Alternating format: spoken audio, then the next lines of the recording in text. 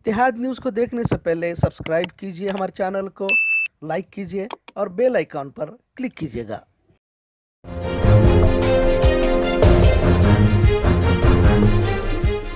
असलकम रहमतुल्लाहि वबरकातुहू। इतिहाद न्यूज़ में आप सभी का खैर मकदम है।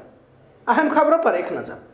दिलीप कुमार की मौत के साथ एक और खबर का ज़िक्र अक्सर न्यूज़ चैनलों में किया जा रहा है। वो है मोदी हुकूमत में वजारत तोसी यानी कि मंत्रिमंडल विस्तार की चर्चा अलग अलग तरह से की जा रही है। एक तरफ़ वजारत तोसी की खबर तो आज पूरे मुल्क में भाजपा की गलत पॉलिसियों के खिलाफ कांग्रेस पार्टी की जानब से एहतजाज किया गया। वैसे तो मोदी सरकार महँगाई पर कुछ न कहते हुए मंत्रिमंडल विस्तार में लगी नज़र आ रही है। गोदी मीडिया बजाय गरीबों के सवालों पर हुकूमत को घेरने के मंत्रिमंडल विस्तार पर ही ज़्यादा चर्चा करते हुए इसे भी मास्टर स्ट्रोक बनाने में लगी हुई है। इधर कांग्रेस की जानब से मुल्क की सतह पर महँगाई, कोरोना में नाकामी, पेट्रोल, डीजल के साथ मीठे तेल की कीमतें भी आसमान को छू रही है। लिहाजा आज बेंगलोर में विधानसभा के सामने येड्रोपा हुकूमत के खिलाफ एहतजाज किया गया तो बेलगाम में भी कांग्रेस भवन में एहतजाजी इजलास मुनद किया गया था। कांग्रेस की जानब से कसीर तादाद में कारकुनों ने शिरकत फरमाई और सड़क पर ही चूल्हा जलाकर चाय बनाने की कोशिश की, गैस की बढ़ती कीमतों से अवाम बेहाल है। लिहाजा लकड़ियों के ज़रिए गुजारा करने की नौबत अवाम पर आन पड़ी ऐसा पैगाम भी दिया।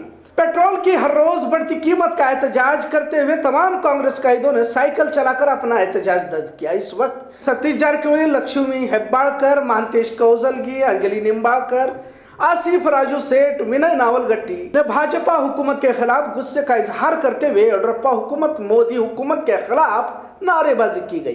बेलगाम कांग्रेस सिटी डिस्ट्रिक्ट सदर जनाब आसिफ राजू सेठ ने भाजपा की गलत पॉलिसियों का ज़िक्र करते हुए कहा कि जब जब कोई इनके खिलाफ होता है या तो इनके खिलाफ कुछ कहता है तो इन पर कार्रवाई करने का काम भाजपा करती है। ट्विटर कल तक बहुत अच्छा था, पर ट्विटर भाजपा की मुखालिफत करने लगा तो इस पर पाबंदी लगाने की बात कहने लगी।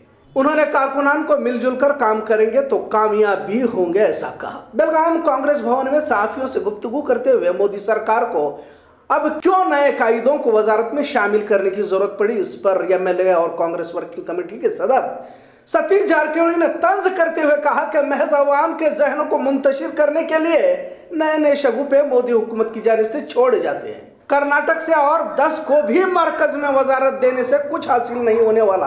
आखिर किस बात पर अवामी ने वोट देगी? महँगाई, कोरोना, वैक्सीनेशन, तमाम में नाकाम मोदी हुकूमत। आखिर किसी तरह से अपना रसूख बरकरार रखने की कोशिश कर रही है, पर इसमें भी इन्हें कामयाबी हासिल नहीं हो सकती। इन्होंने पंडरपुर मिरज पैसेंजर रेल की मिसाल देते हुए कहा कि पहले तो ये हुकूमत 50 किलोमीटर प्रति रफ्तार से दौड़ रही थी, पर अब तो 20 या 30 किलोमीटर प्रति घंटे की रफ्तार से दौड़ेगी। मंत्रिमंडल विस्तार यानी वजारत तोसी से कुछ हासिल होने वाला नहीं है, ऐसा इन्होंने कहा। खासकर कोरोना दौर में रियासती येडुरप्पा हुकूमत पूरी तरह से नाकाम हो चुकी है। इन्हीं के कायद पर इल्ज़ाम तराशी, इन्हीं के कायद करते रहते हैं। फ़िलहाल आवाम को वैक्सीनेशन की ज़रूरत है, पर एक दिन वैक्सीनेशन मुहिम चलाई जाती है तो दो तीन दिन तक वैक्सीनेशन को आउट ऑफ़ स्टॉक कर दिया जाता है। अदालत ने भी इन्हें फटकार लगाई हुई यही रफ्तार रही तो और दो साल तक यह वैक्सीनेशन की मुहिम चलती रहेगी। मोदी वज़ीर आज़म व्हाट्सएप से नहीं बने हैं, बल्कि आरएसएस जैसे इदारों की वजह से मोदी वज़ीर आज़म तक पहुँचे हैं, ऐसा भी इन्होंने कहा। आने वाले चुनाव में कांग्रेस फिर से इकतदार पजीर होगी, ऐसा भरोसा इन्होंने जताया। हॉस्पिटल में, सरकारी रिकॉर्ड में अगर आपको दिखाते थे कि आज दस हुए इसका मतलब है कि आज सौ हुए तो उसके दस लोग दस लोग हॉस्पिटल में मरते थे और नब्बे लोग घर में मरते थे ये नब्बे लोग घर में कैसे मरे? क्यों मरे? इसलिए मरे कि हॉस्पिटल में बेड नहीं थे। ये इसलिए में मरे कि उनको दवाई नहीं दी गई। ये और इसलिए मरे कि उनको वैक्सीन नहीं दिया गया। हॉस्पिटल में बेड देने का काम किसका है? जब आप सिविल हॉस्पिटल बोलते हो तो हॉस्पिटल में बेड देने का काम सरकार का रहता है। और जब सरकार बेड नहीं देती, दवाई नहीं देती तो पेशेंट जाएगा कहाँ? हमने देखा है कि रोज से रोज बेलगाम सिटी में बशान को चालीस लाश आते थे कब्रस्तान को बीस पच्चीस लाख लाश आते थे। सरकार पूर्ण पूरे तरीके से विफल हो चुकी है। अभी मोदी साहब को हम कल पूछेंगे कि क्यों हमारे इतने लोग मरे तो क्या बोलेंगे? पता है आपको? मुझे मालूम था, आप पूछने वाले हैं। इसके लिए मैंने अपने जो हेल्थ मिनिस्टर था, उसको निकाल दिया। अपने आँख पे नहीं लेंगे वो। तो हेल्थ मिनिस्टर को बोल के उसको बकरा बना के भेज दिया और खुद आप बताएँगे कि मैं तो ट्विटर वाले ने बोला कि हमारे को ज़्यादा धमकी देंगे तो हम तुम्हारे को जो आप सोशल मीडिया में ऊपर आए, वैसे सोशल मीडिया में आपको खलास करेंगे तो मिस्टर प्रसाद को भी करके भेज दिया। ये सिर्फ़ दादागिरी की सरकार है। लोगों को तकलीफ़ देने की सरकार है। हम इस सरकार से लड़ेंगे। और जब तक हमारा हर एक कार्यकर्ता नहीं लड़ेगा तब तक हम इससे सफल नहीं होंगे तो इसके लिए मैं हर कार्यकर्ता से दरखास्त करता हूँ विनंती करता हूँ कि हम सब साथ साथ में मिलकर लड़ेंगे सब साथ में मिलकर संघर्ष करेंगे बहुत बहुत धन्यवाद जय हिंद जय ಸರ್ಕಾರದ ಕೋವಿಡ್ದಲ್ಲಿ ಆದ ವೈಫಲ್ಯಗಳು ಸರಿಯಾಗಿ ನಿರ್ವಹಣೆ ಮಾಡಿಲ್ಲ ಮತ್ತು ದಿನನಿತ್ಯ ಅವರ ಆಡಳಿತ ಯಾವ ಕಡೆ ಹೋಗ್ತಾ ಇದೆ, ಅವ್ರದೇ ಸ್ವಂತ ಶಾಸಕರೇ ಸಿಎಂ ಮೇಲೆ ಆರೋಪ ಮಾಡ್ತಿದ್ದಾರೆ ಇವತ್ತು. ಸೊ ಹಾಗಾಗಿ ಸಾಕಷ್ಟು ಸರ್ಕಾರ ನಡೆಸಲಿಕ್ಕೆ ಸಮರ್ಥರಂತ ಸಾಬೀತಾಗಿದೆ. ಅದಕ್ಕಾಗಿ ಇದೆಲ್ಲ ಜಾಗೃತಿ ಮೂಡಿಸಲಿಕ್ಕೆ ನಾವು ಅಭಿಯಾನ ಮಾಡ್ತಾ ಇದ್ದೀವಿ. ಎರಡು ಫೇಲ್ಯೂರ್ ಕೋವಿಡ್ದಲ್ಲಿ ರಾಜ್ಯ ಸರ್ಕಾರ, ಅವರು ಕೂಡ ಕೋವಿಡ್ನಲ್ಲಿ ಅವರು ಫೇಲ್ಯೂರ್ ಆಗಿದ್ದಾರೆ. ವ್ಯಾಕ್ಸಿನ್ ಹಂಚಿಕೆಯಲ್ಲಿ ಇರ್ಬೋದು ಆಕ್ಸಿಜನ್ ಕೊಡುವಲ್ಲಿ ಅವರು ಕೂಡ ಸಂಪೂರ್ಣವಾಗಿ ಫೇಲ್ಯೂರ್ ಆಗಿದ್ದಾರೆ. ಸುಪ್ರೀಂ ಕೋರ್ಟ್ ನಮ್ಗೆ ಆದೇಶ ಮಾಡಿದ್ರೆ ಒಂದು ಸಾವಿರ ಟನ್ ಆಕ್ಸಿಜನ್ ನಮ್ಗೆ ದಿನನಿತ್ಯ ಪೂರೈಕೆ ಮಾಡಕ್ಕೆ ಆಗ್ತಿರ್ಲಿಲ್ಲ ಆದ್ರೆ ಆಗವ್ರೇನು ನಾವು ಆಗ್ತಂತ ಹೇಳಿ ಹೇಳಾರ ಯಾರಾಗ್ಯಾರ ಆಗವ್ರು ಎಲ್ಲಿ ಹೇಳಲ್ಲ ಮತ್ತೆ ಎಲ್ಲ ಆ ಕಡೆ ಹಿಂದೆ ಯಾರ ಹಿಂದಿನವರು ಸಾಲಿನಾಗ ಕೂತಿ ಚೀಟಿ ಹೊಡೋರು ನಾವೇನು ಮಾಡ್ಬೋದು ಯಾರು ಗೊತ್ತಾಗುತ್ತೆ ಮುಂದಿನ ಲೈನವ್ರು ಯಾರು ಹೇಳ್ಯಾರ ನಾ ನಾವು ಆಗ್ತೀವಿ ನಾನು ಸಿ ಎಂ ಮತ್ತೆ ಯಾರು ಹೇಳಿದಾರೆ ನಮ್ಮವ್ರು ಯಾರು ಹೇಳಿಲ್ಲ ಇನ್ನು ಯಾರು ಹೇಳಿದ್ರೆ ನಾವೇನು ಮಾಡೋದು ಅವ್ರು ಏನು ಹೇಳೋದು ಮಾಡೋರು ಯಾರು ಹೈಕಮಾಂಡ್ ಮಾಡ್ತಿದ್ದೆ ಎಮ್ ಎಲ್ ಎ ಮಾಡ್ತಾರೆ ಏನು ವಾಟ್ಸಪ್ದಾಗ ಸಿ ಎಂ ಆಗ್ತಾರೆ ಯಾರು आज कांग्रेस भवन में बेलगाम ग्रामीण के एमएलए लक्ष्मी हेब्बाड़कर ने क्रेडिट पॉलिटिक्स पर बात करते हुए कहा कि कांग्रेस ने कभी भी किसी और का क्रेडिट अपने सर लेकर खुद की योजनाएँ, स्कीमों को अपना नहीं बताया, बल्कि यह काम भाजपा करती आई है। पहले तो तमाम स्कीमों, योजनाओं की मुखालिफत करते रहे, फिर अख्तदार में आने के बाद कांग्रेस के ही स्कीमों को जारी रखकर अपने तरफ़ से ही इन योजनाओं को शुरू करने की बात कही। लिहाजा यह भाजपा का काम है कि किसी और की कामयाबी का सहरा अपने सर बांध लेती है ऐसा भी पलटवार करते हुए देखा गया वाजह रहे कि भाजपा के कुछ लीडरों ने कांग्रेस एमएलए पर भाजपा की योजनाओं का क्रेडिट कांग्रेस ले रही है ऐसा इल्जाम लगाया था ಈ ಕ್ರೆಡಿಟ್ ಅಂತ ಏನೋ ಕೇಳಿದ್ರಲ್ಲ ನೀವು ಕ್ರೆಡಿಟ್ ಪಾಲಿಟಿಕ್ಸು ಅದು ಕಾಂಗ್ರೆಸ್ನವ್ರಿಗೆ ಬರೋದಿಲ್ಲ ಕ್ರೆಡಿಟ್ ಪಾಲಿಟಿಕ್ಸು ನೀವು ಮೊದಲಿಂದನೂ ವಿಚಾರ ಮಾಡಿ ಕಾಂಗ್ರೆಸ್ ಪಕ್ಷದ ಎಲ್ಲ ಕಾರ್ಯಕ್ರಮಗಳಿಗೆ ವಿರೋಧ ಮಾಡ್ತಾ ಇದ್ದಂಥ ಬಿ ಜೆ ಪಿಯವರು ತಮ್ಮ ಯೋಜನೆಗಳನ್ನಂತ ಬಿತ್ತರಿಸ್ಕೊಂಡ್ರು. ಸೆಂಟ್ರಲ್ನಿಂದ ಹಿಡ್ಕೊಂಡು ಬೆಂಗಳೂರುವರೆಗೆ. ಸೊ ಕ್ರೆಡಿಟ್ ಪಾಲಿಟಿಕ್ಸು ಕಾಂಗ್ರೆಸ್ ಪಕ್ಷಕ್ಕೆ ಅನಿವಾರ್ಯ ಇಲ್ಲ. ಮೊದಲನೇದ್ದು. ಎರಡನೇದ್ದು, ಯಾರು ಆರೋಪ ಮಾಡಿದಾರಲ್ಲ, ಅವ್ರಿಗೆ ಉತ್ತರ ಕೊಡೋಕ್ಕೆ ನನಗೆ ಮನಸ್ಸಿಲ್ಲ. आज रायबाग तालुका निडगुंडी देहात के करीब लॉरी और दो बाइक सवार में टक्कर होने से दो अपराधों की जगह पर ही मौत हो गई। हादसा इतना खौफनाक था कि बाइक सवारों की मौत उसी जगह पर हो गई। इस कदर हादसा पेश आया कि लॉरी और मोटर बाइक में आग लग गई। दोनों मैतों की शनाख्त हो गई है। एक का नाम बालप्पा कुमार कांबड़े और दूसरा पूनम बलवान तलवार, इनके नाम है।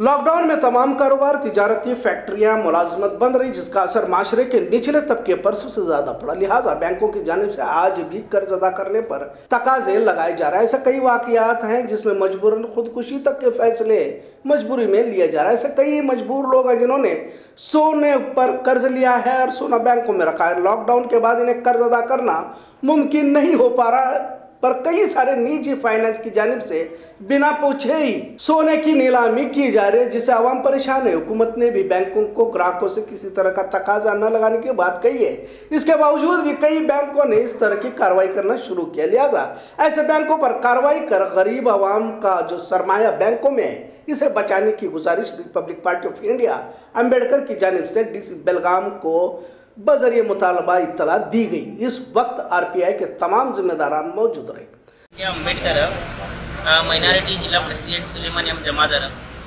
आज हम इधर डी सी साहब के पास मनवी देने को आए थे कि यहाँ पे म्यूचुअल फाइनेंस जो है, वहाँ पे लोग सुना रखे सो है लॉकडाउन की हालत की वजह से। लोग सुना रखने के बाद में उनको इंटरेस्ट भरने को थोड़ा आगे पीछे हुआ। आगे पीछे होने के बाद में वो कुछ नहीं, कुछ इंटीमेशन है डायरेक्ट वो सुना नीलाव कर रहे हैं। ऐसा होकर लोगों को बहुत तकलीफ़ हो रही है तो उनके ऊपर लीगल एक्शन लेना बोल के हमारी तरफ़ से एक मनवी है, मुथुर फाइनेंस के ऊपर और माइक्रो फाइनेंस और बाकी का जो वारा वारा में जो लेडीज़ लोग पैसा निकाले हैं, उनको भी बहुत तकलीफ़ हो रहे हैं। और उनको भी लेडीज़ को आके उधर के सर लोग आके बहुत परेशान कर रहे हैं तो उनको भी आदेश करना कि आके तकलीफ़ नहीं करना। अहम खबरों के बाद अहम मौजू पर एक नज़र। वैसे तो तीसरी लहर की बात हो रही है, पर उससे खतरनाक लहर भारत में 2014 से ही आई। वैसे तो ये फिरका परस्त ताकतें जब से मुल्क आज़ाद हुआ, तब से मौजूद थी, लेकिन अब जो 2014 के बाद इन्होंने सर अपना निकाल दिया है। और जो खतरनाक लहर है, वो है मजहबी तशद की। यह लहर कोरोना लहर से भी खतरनाक। कोरोना मर्ज से एकाध शख्स बीमार हो जाता है, मजहबी नफरत का वायरस पूरे समाज को खोखला करता है। लिहाजा आज इस मौजू पर बात करना इसलिए भी ज़रूरी है कि नफरती नारंगी संतरे नई नई तरकीबें निकाल कर अकलियती समाज को निशाना बनाते रहते हैं।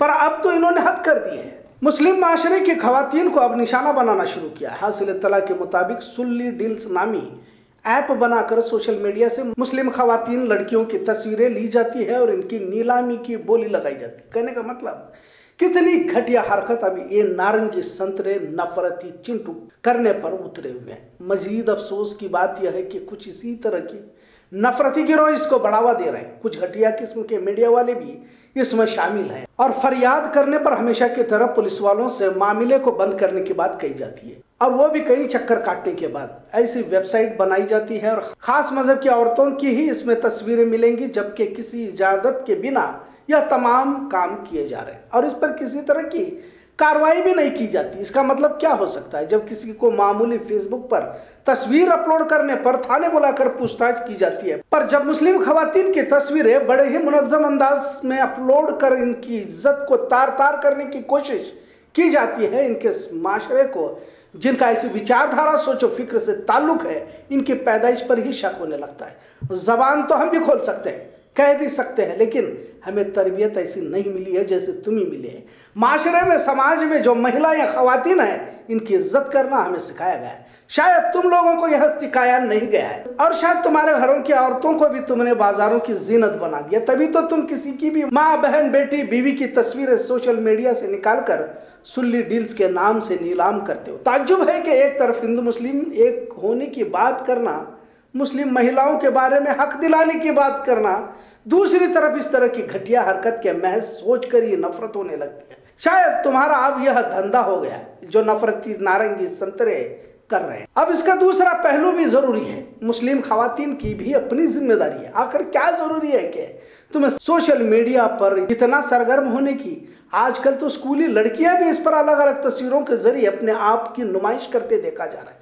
अक्सर कॉलेज पढ़ने वाली लड़कियाँ आजकल आज़ाद ख्याली से मुतासर देखी जाती है। इससे आगे उन वालिदेन पर भी ताजुब होने लगता है कि अपनी बेटियों को आज़ाद छोड़ देते हैं। इन्हें ऐसा लगता है कि इनकी बेटी ही शहर की सबसे मासूम और शराफत से भरपूर बेटी है। इन पर वालिदेन नज़र नहीं रखते लिहाजा ऐसी वारदातें पेश आती है जिससे वालिदेन को शर्मिंदगी उठानी पड़ती है।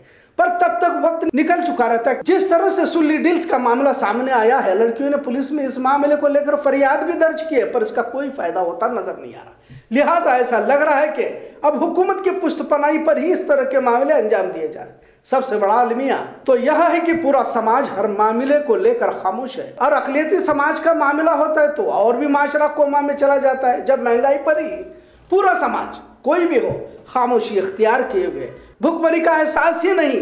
तो अब किसी दूसरे समाज के लिए जागना तो बहुत दूर की बात है। और उस समाज की बात क्या कहे? जिस समाज के इल्मी दानिश्वर, सियासी लीडर, जमातों के सरपरस्त, सभी ऐसे जी रहे हैं जैसे इन्हें कुछ मालूम ही नहीं। और इनका ये मामला है भी नहीं। और इन्हें कुछ पता ही नहीं। ज़रूरत है मुस्लिम माशरे की पस्ती हर लिहाज से इलमी माशी समाजी हालात दिगर है तबादले ख्याल करने की कोशिश करें। यकीनन हम दौर फितन का हिस्सा है। हिजबुल्ला और हिजबुल शैतान के गिरोह तुम्हारे सामने है। तुम्हें फैसला करना है कि तुम किस गिरोह का हिस्सा बनना चाहते हो। यह ऐसा दौर है कि इंसान नेकी समझकर गुनाह में मुब्तला हो रहा है। महदूद दायरे का इल्म ना देते हुए इल्मी दानिशोरों को चाहिए कि मौजूदा हालात में जिस तेज़ी के साथ दुश्मन साजिशों के जाल बुन रहा है इससे आगाह करें। उलमाओं की ज़िम्मेदारी इस दौर में और भी बढ़ जाती है। पर बड़े अफसोस के साथ कहना पड़ रहा है कि आखिर इनकी खामोशी की वजह क्या है? तमाम माशरा हर लिहाज से बिखरता नज़र आ रहा है। ज़रूरत है कौम मिल्लत की, बेटियाँ नौजवानों को सही राह पर लाने की कोशिश करें। Social media, mobile, video game, देर रात तक मोबाइल में अपनी आँखें गाड़ना तमाम मुस्लिम माशरे के मुस्तबिल को तबाही की तरफ़ ले जा रही है। नौजवान गली मोहल्ले के कट्टों पर देर रात बैठे रहते हैं। गांजा नशाखोरी के आदि हो रहे हैं। बेटियों को महँगे मोबाइल के ज़रिए गलत रास्ते पर गामजन करने में खुद वालिदैन जिम्मेदार है। अब तो ऑनलाइन पढ़ाई के बहाने पढ़ाई की जगह गलत फैश कामों में मुलविस नौजवान नस्ल को देखा जा रहा है। हर कोई अपने आप को अपनी मर्ज़ी का मालिक समझ बैठा है। लिहाजा एक बार फिर सुल्ली डील ऐप के ज़रिए मुस्लिम लड़कियों को बाज़ार में लाने की साजिश फिरका परस्तों की जानब से की जा रही है। ज़रूरत है अपने घर की बेटियों की, बहनों की फ़िक्र हम खुद करें। आज भी अगर हम अपने आप को मजहबी दायरे में रहने की कोशिश करेंगे तो दुश्मनों की औकात नहीं कि वह किसी तरह की साजिशों को तकमील तक पहुँचा सके।